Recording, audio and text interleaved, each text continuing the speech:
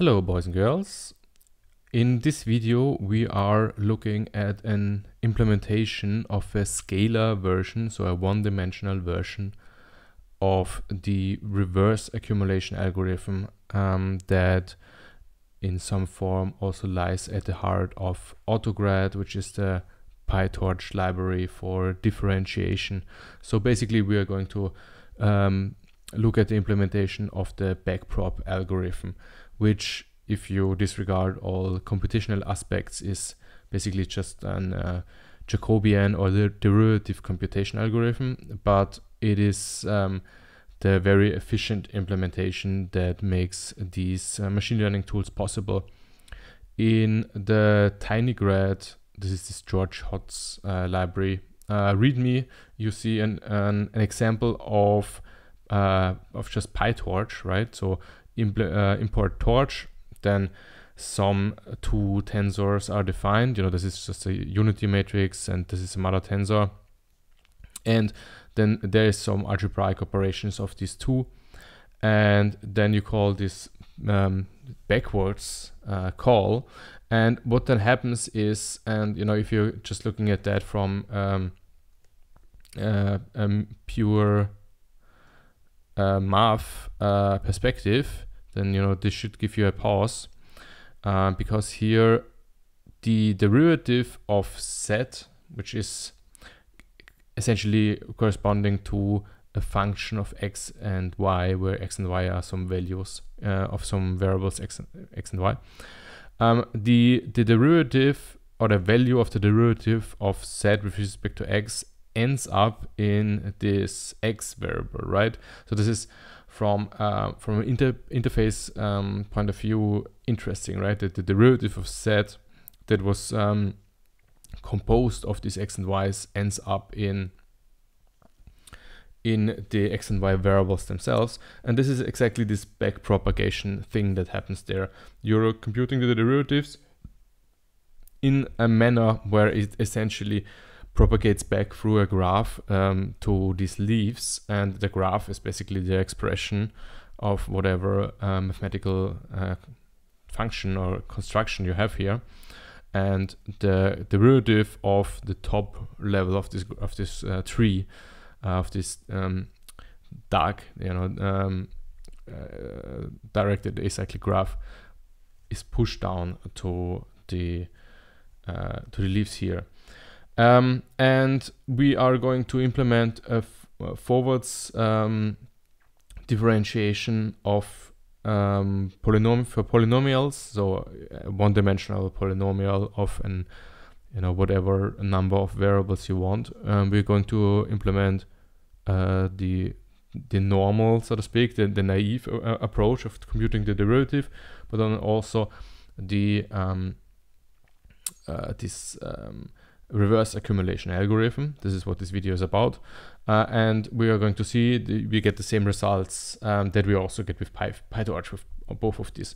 And at the end of the video, I'm also using the reverse accumulation for a gradient descent um, minimum finding just for demonstration sake.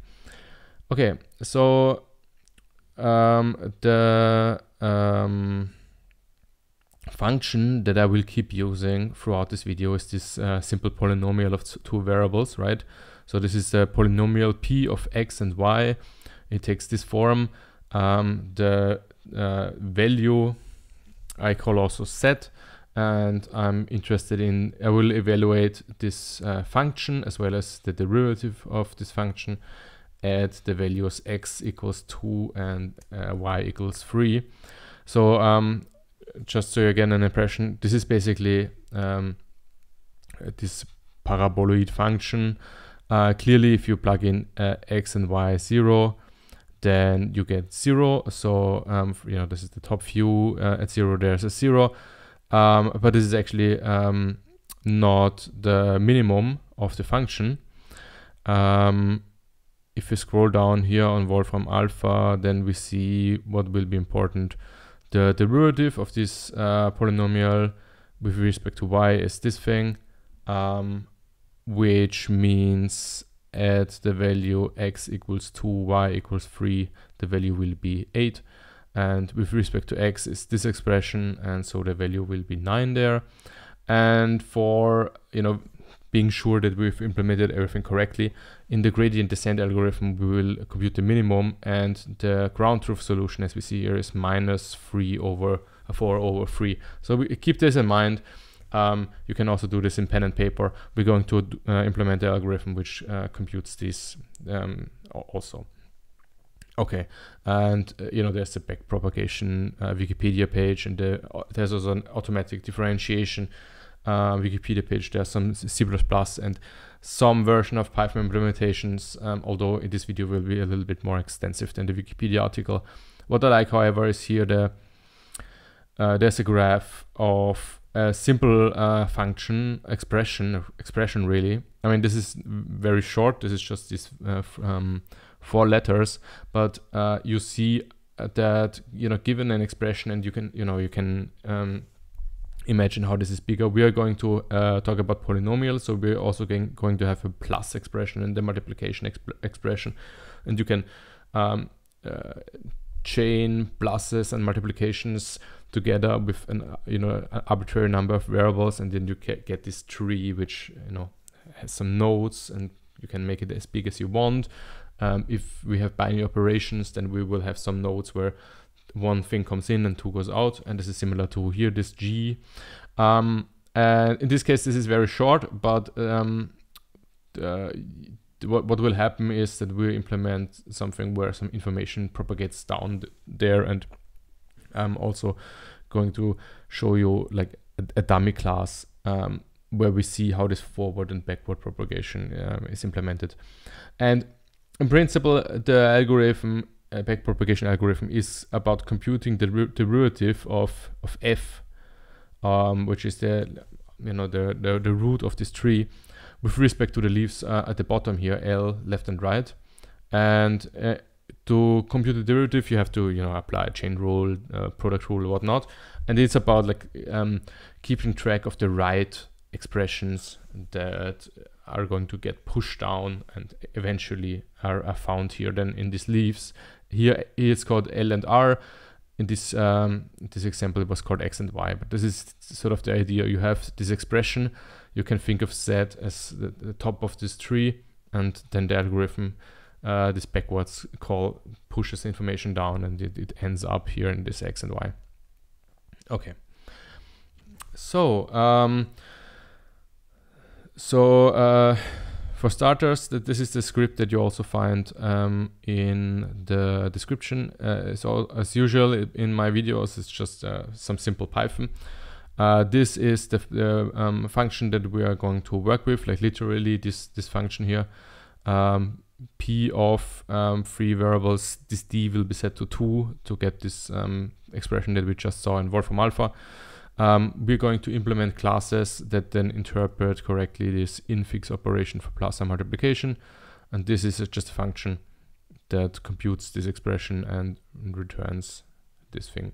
So we're going to implement classes that can be passed there, which basically are wrappers for numerical values and such that this function returns another um, class expression and we're going to use this P, exactly this P with three different um, implementations.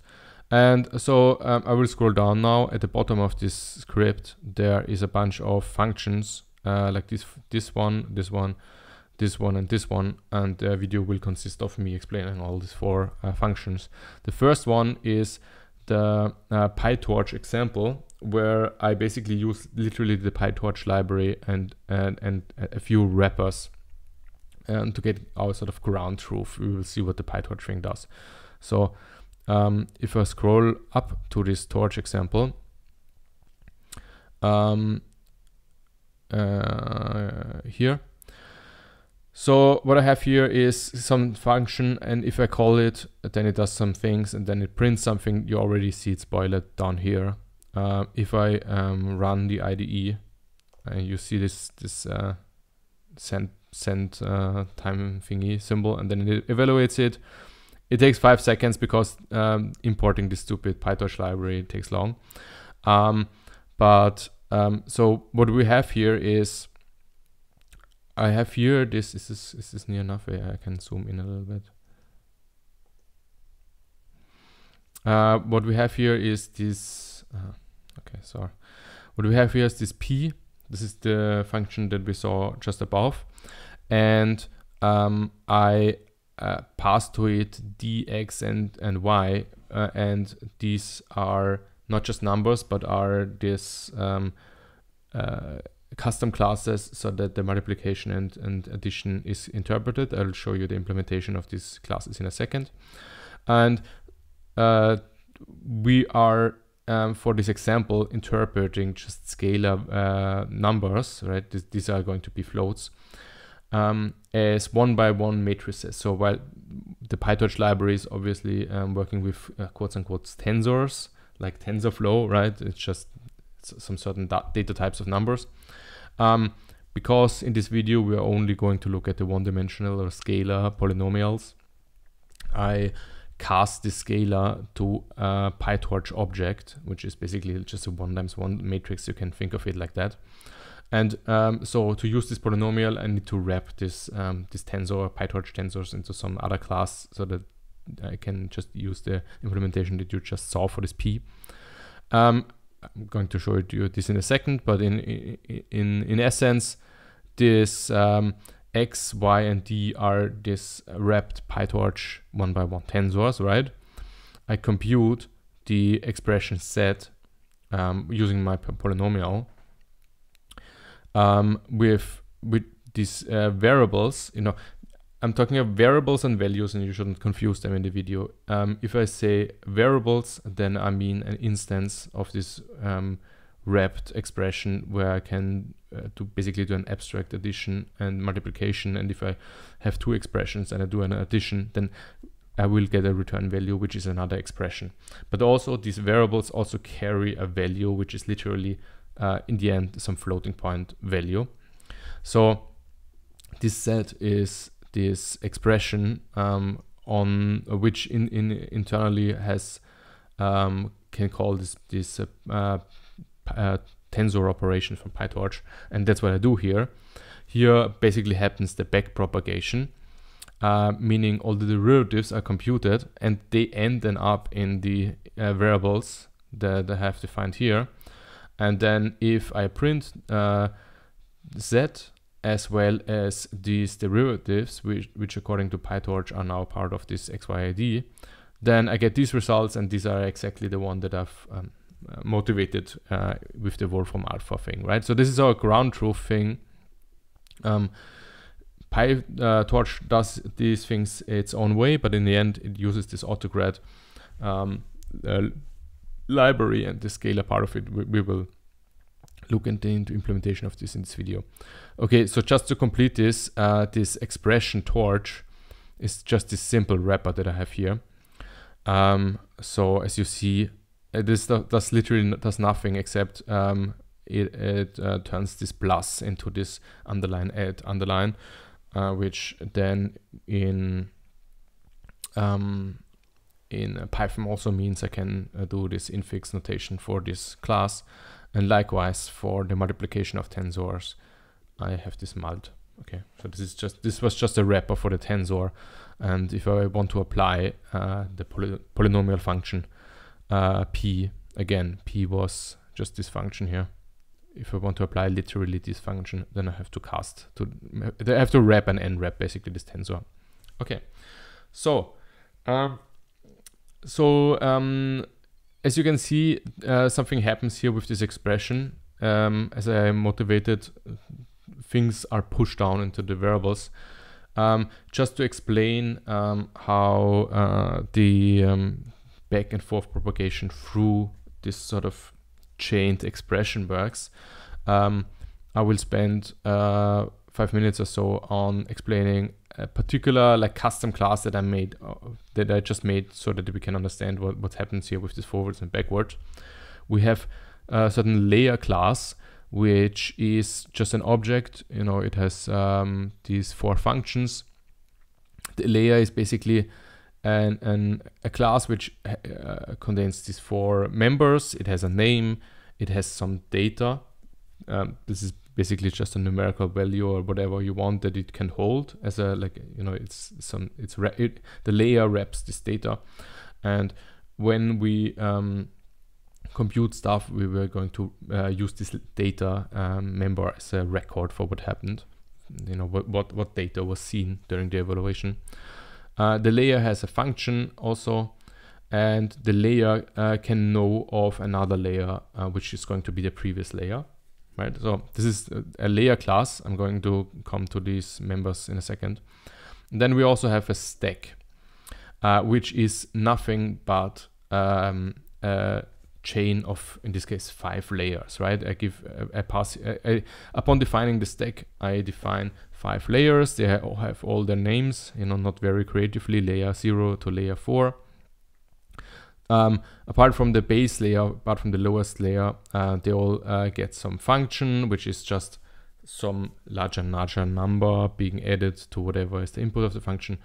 And the previous layer is, um, as you might expect, literally just a previous layer. So the uh, layer three has name uh, has name uh, free layer three, and there's some function, and it knows of layer two. Okay, so the, obviously the this is like then a linear sequence, which makes it a little bit more simpler than uh, generic polynomial expressions with plus and minus, right? Like plus and minus, you can think of this this uh, tree being um, defined.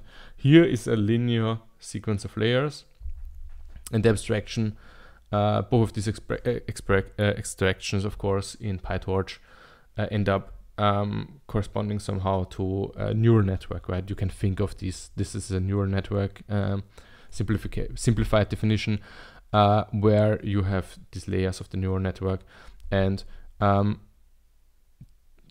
accordingly, there this function has a forward call. And what happens here is it takes the data of the, the bottom layer. This is basically the input to the neural network if you want. And then I call in sequence uh, all the fo uh, four uh, layers that follow. And each um, function takes the input that was uh, returned from the previous layer, right? In this way, the um, the some some data value that was set is propagated through this through this stack or through this network. And because the functions is always adding some stuff, what will happen is that some numbers are added uh, everywhere. The, the whole point of this class is, it's just for explanation purpose, that I have all these logs here at which we will see the, the flow uh, of the evaluation.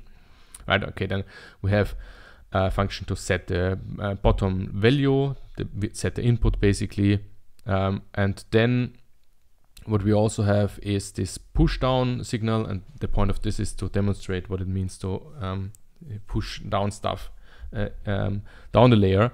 And uh, this is a recursive function which basically in the sense that uh, is a push down it calls the uh, push down signal of um, layer 4 and in the layer there's also a push down signal function implemented namely this here.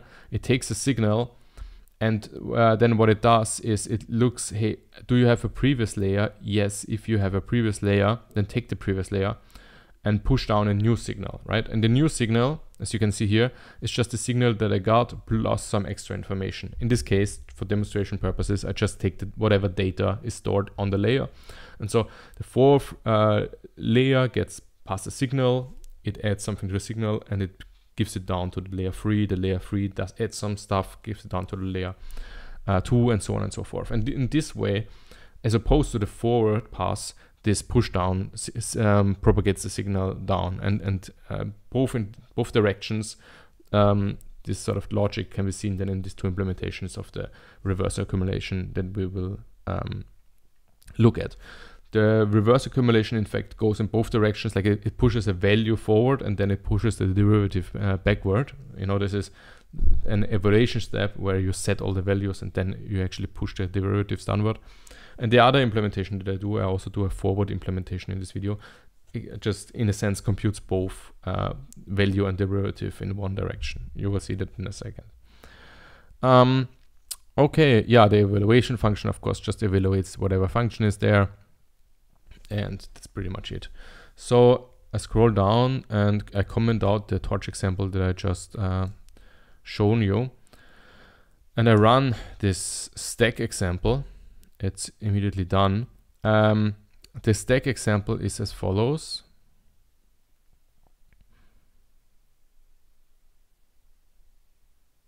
Okay, I define an input free. I define an input free. Um, I define a layer. I set the input layer. So this is what's happening here. So I set up the uh, the stack. I set the value 3 into the stack. We are here. Then I call the forward uh, pass of the value, right? There are these these functions. You can see them here, and you can you can think about what happens. Well, I get the 3. The x uh, is added to the number 40, so this becomes 43. You can see it here. Um, and then in in the forward function uh, pass here, the data free is added here. You get a 43. Then it's added to the next thing and it, I've designed it in a way that that becomes then four, uh, five, four, three, and then so on and so forth. And you see what happens here, right? This is the forward pass through this stack. Um, and then in this demo, I also do this push down of signal foo. After the forward pass is uh, is done, uh, here, sorry if I scroll too much here in this video, but you will have to will have to bear, bear with me here. The evaluation function that I just called, you know, it calls whatever function you have, but and it saves a record to the to the data um, entry. And then if I do the push down, as you see here, then the signal, you know, foo is augmented with uh, the data that you have previously computed in the forward pass. So as you can see then down here in this evaluation, um, foo becomes foo and then the number is saved in the last layer, like in layer four. Um, four. Uh, and that is pushed down to layer three and the layer three adds then this number and so on and so forth. And so this signal becomes bigger and bigger. Uh, and it becomes a contribution from all these evaluations. And obviously the, the analogy that we will see later is that also for the neural network or the autograd or my scalar grad or however you want to call it, um, we're going to define the polynomial. We're going to set values in the variables, which are the fundamental building blocks with which, which the uh, polynomial is computed. Then we will do a forward pass, which basically means uh, evaluating everything in a forward uh, fashion, right? We're going to compute the value and and and all these kind of things for for the set um, of uh, based on this values that come in, right? So for x, we have the the, val the variable x has the value 2, the variable y has the value 3, and, and d will be 2. We do the forward pass, then z will, have, it will be an expression that uh, carries the value 23 for this function. And then uh, for all intermediate um, expressions that are you know part of this set, some values will be set, and then we will do uh, the the backpropagation, where in a tricky way it, it goes back through the whole uh, function uh, expression graph, the polynomial ex expression graph, and the only thing that has is to be done there is then think about here, what are the contributions that I have to um, that I have to add at all stages so that uh, when I look at the bottom um, variable, so for example for x, I want it to hold the value uh, the derivative of z with respect to x at some certain um, position. We just have to uh, define the pushdown function in a way that it it, it um, you know gives along augments the signal that it got from the from the higher uh, place in uh, you know we have to carry this some certain derivatives or certain multiplication expressions from left and right and so on in the correct way so that what we end up with in the bottom is going to be the this gradients. Um, okay, uh, so you see how that works. This was just the example with the stack. And now um, that being done, we will look at first, before we go to the actual uh, reverse accumulation um, implementation, we're going to look at the simpler forward accumulation, which is basically how you would do it more or less on, like on pen and paper in a sense. Okay, so I will comment out the stack example um, and run this comparison. So again, I will run the torch example and these two comparisons once. Uh, and what we will see in the end is that the torch example, we get these values that I just described, right? So 23, uh, 9, and, and 8. And then the, um, the forward example has the same result, and the reverse accumulation example will also have exactly the same result. So here you already see, and they're, they're all using the same P, they're using the same uh, small Python function P. They are just implementing different classes to make this work. So you see it already, you're already convinced that it will work. You're just now interested in looking at the code. Okay, I make some space here because we will not need the output much. So the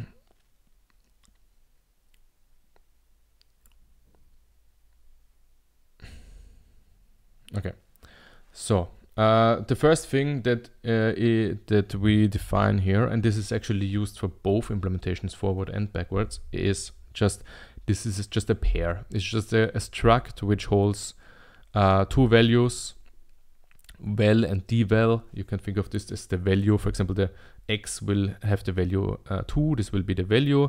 And dval is just the memory, as uh, the, the member that, that stores whatever um, derivative value, numerical der derivative value you write to it. And then it has get the functions. Okay, uh, that's it. Very easy.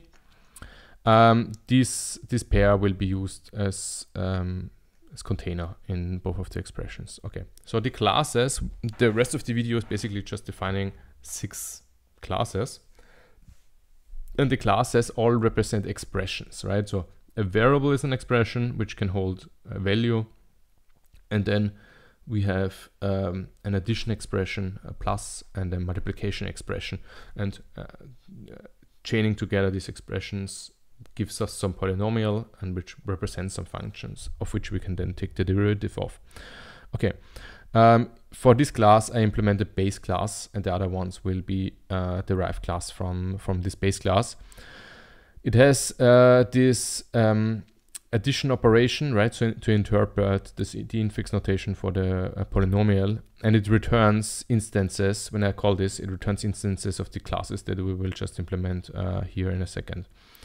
Um, so that's easy. Uh, then we also have um, here, this says that for um, both, also for any class that is derived from that, for any child from this parent class, we need to implement um, the value and d-value setting, right? Otherwise, this will break at runtime. Uh, and then I, for convenience, I also have a getter for the value which just returns the first component um, from from whatever is constructed in the in the value d value pair. Okay, the first um, uh, class that is derived from this expression base is the variable expression. Right, this will be our x and y and d. The the variable expression has a value. For example, the the variable expression x will carry the value 2 um, upon initialization. Um, and here I implement uh, setting the value um, and um, computing the derivative. And this is a function which uh, takes another variable, right, another expression as an input. And um, so to do that, uh, firstly, I um, I uh, read out, um, you know, the, I read out the first entry of the pair. Uh, basically, what I'm doing here is I create a pair. I take the value of the, of this uh, of the present uh, variable, and um, so this this r will be a pair where the first entry is the value that it has. So uh, maybe more complicated said than done. This is just the returns just the value of whatever is, is there, whatever is already set. Um, and for computing the dval, right, uh, the, the value of the derivative of this variable, um, we only allow it to be two things, either 0 or 1. If the, the variable um, with respect you take the derivative of, so for example, if um, if if the, the the instance the self is the variable x and we take the derivative respect with respect to x then uh, you know dx dx is one. The derivative of variables with itself is just one. So uh, we want to return one. And this is impl implemented here with the Kronecker delta. Uh, if that what is passed is the variable itself. Is the var if the variable is passed to itself then this will be true. The integer cast will be 1 and so the derivative value will be set to 1 right?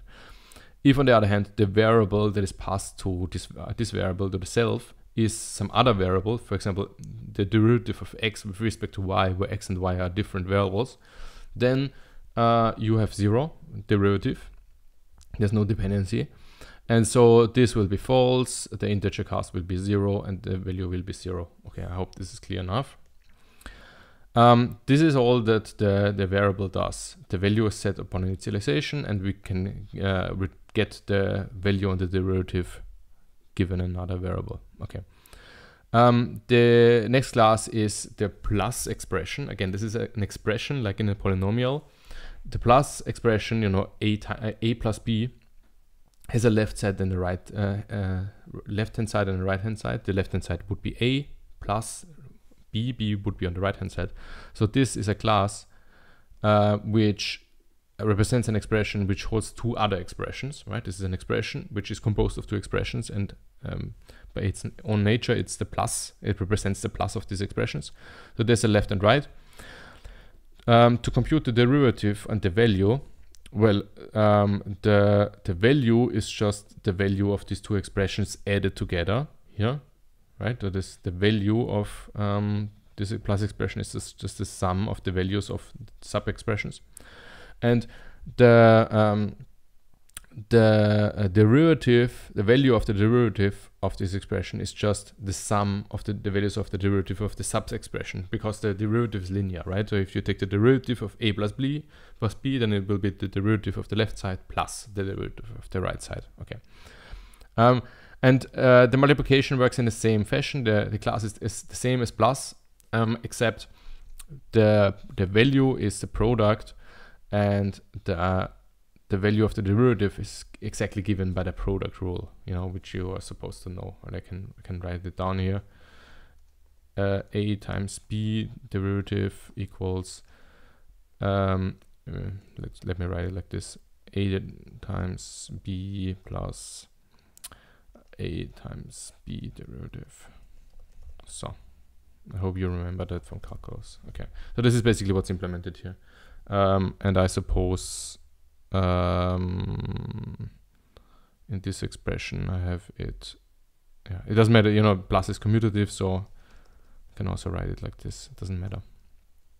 Okay, okay, so um, this is the implementation of the, the forward computation, right? If you call uh, the derivative of some expression, then it will call the derivative computation, uh, the, the derivative computation of the other expressions, and this will like recursively go down until you get the derivative of the variables, which are like zeros and ones, and then everything builds up in like in a normal recursive call um, of a computation. And so if we look at this run comparisons demo, I'm just showing you what I'm executing now. This is this. Then what happens here is I set up x and y. I compute p with the polynomial. The polynomial knows how to, how, you know, it's defined with infix notation plus and, and uh, multiplication. It um, gives me a set expression, which is composed of a bunch of plus and multiplication expressions, which know of each other, know the, the, the plus uh, you know, if I write, if I write down uh, a plus b times c for uh, e, then e is an expression, is a multiplication expression with left entry a plus b and right uh, entry c, where the left entry is really a plus expression, right? This is how it works. It's like this this tree is formed just by defining uh, this this expression, and um, if then I call uh, the command to compute the derivative, the d value of e, then as we've seen, it, it uh, computes it, it, it wants to uh, query the d values of the sub expressions and then it composes the values in some form.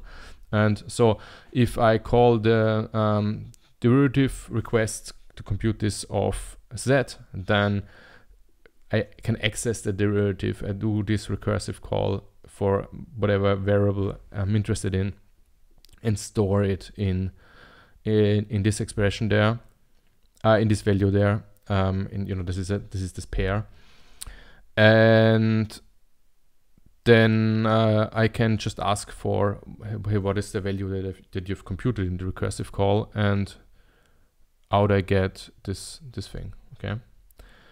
Okay, and um, so finally, after you have understood this, we are going to look at the reverse accumulation implementation, which is similar but a little bit more trickier, but for bigger matrices at least, uh, more effective.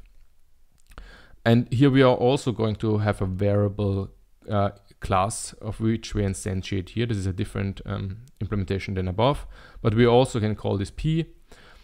Then uh, what happens there is I do uh, call an eval function which will do both a forward and a, and a backwards pass. Forward pass of the values and then back propagation of the derivatives. And then I can query again uh, the values and it will be the same result as in the PyTorch as in the forward computations. Okay, so let's have a look at the reverse accumulation implementations. So I have a base class which uh, knows how to do the infix plus and multiplication.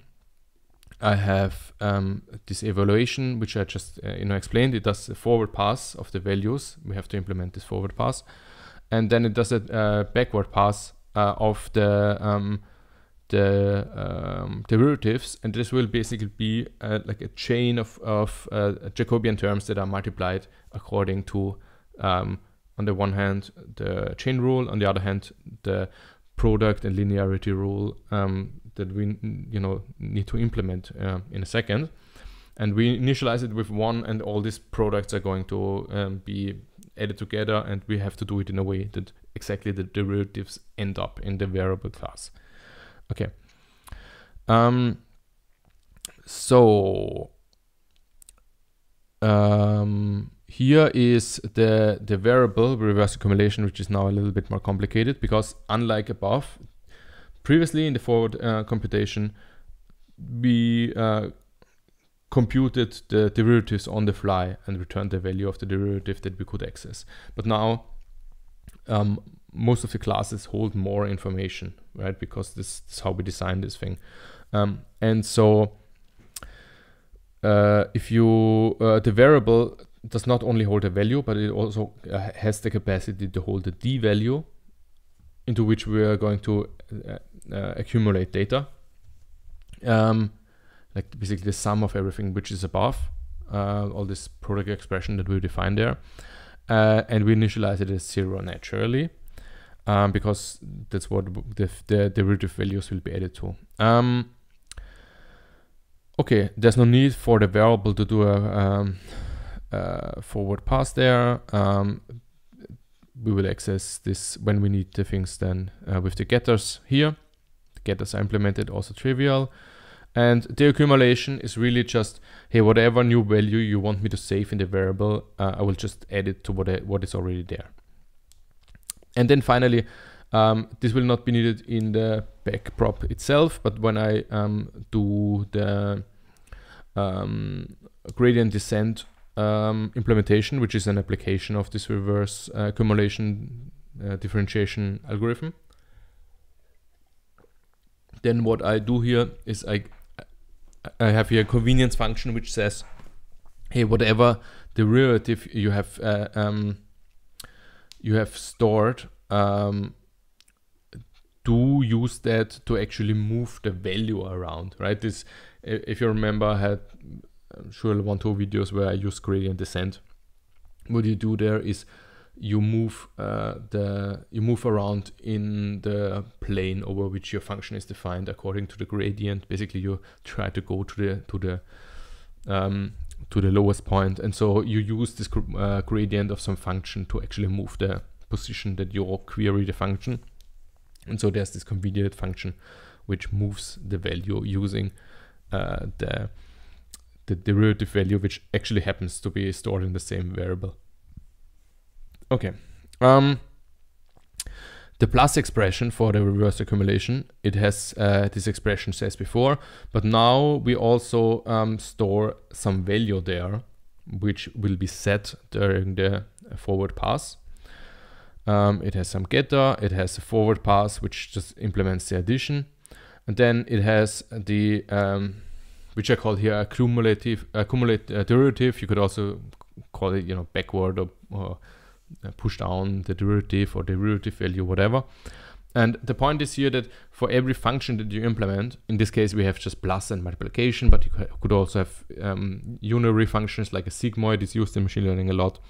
You have to um, uh, basically apply um, the you, you, know think about what the function does, compute the chain rule, and then see what is the part that I have to carry along to actually end up uh, at the bottom with the correct things. So this is basically here thinking about what values need to be carried along at each step um, as you uh, go down and pass things even further into the expression at the lower level. And in this case, um, due to linearity, there there's like each each of the left and right uh, uh, expressions can be treated uh, again separately and you just uh, carry on um, with uh, all the the values that you get here. So this is like basically there's not much to be done and uh, note that here we do not have now to add um, the derivative values up because we are not adding them here at this stage. We're just passing all, everything that we have down and everything will be uh, like added, acc accumulated with the plus sign in the in the variable here. So this this plus is basically responsible then um, to pick up whatever is pushed down from wherever. Okay, so the to um, you know you could do a pen and paper proof that this algorithm then actually like um, ends up holding all the terms and that you not miss any or or overcount anything. But this is like the, the smartness of this algorithm, right? That you have these simple expressions, basically simplified expressions, and that uh, data propagates down. And in this video, this is not a proof uh, that it works, but you can you know you can look at the some some uh, some uh, pen and paper um, validation of the, the uh, all the um, derivatives are accounted for. Um, and finally, there's the multiplication expression. Again, looks exactly the same. The multiplication, the forward pass now uses multiplication, not addition, obviously. And in the um, in the pushback of the derivative, you now have the uh, crossover term, so that the the left uh, push down uh, gets some data from the right push down and this corresponds to the fact that if you do the product rule then you have you know the value of the one thing times the derivative of the other thing uh, for the left term and on the right term the, the exact same, same way around. So the, the L left expression gets something from the right expression and this is exactly what you collect as you push down. Okay uh, so this is the implementation of this reverse accumulation algorithm. There's uh, there's basically not uh, much more to it. We could, of course, add more functions to uh, compose more complicated objects, not just polynomials. Um, and then we would have to implement an expression with the uh, correct derivative. And the sigmoid, if you remember, it has a particularly simple derivative rule where you, you know, it has this exponential function one over something something, and if you take the derivative, then it's just the sum of products of other sigmoids, and that's why it's also nice from from an implementation standpoint um, and uh, and has also value in the neural networks. okay, um, and lastly, I will just demonstrate to you that the um, algorithm also works with this very simple gradient descent implementation. So um, let me uh, go here. So this is the this is a um, implementation where I actually use uh, this reverse accumulation variables.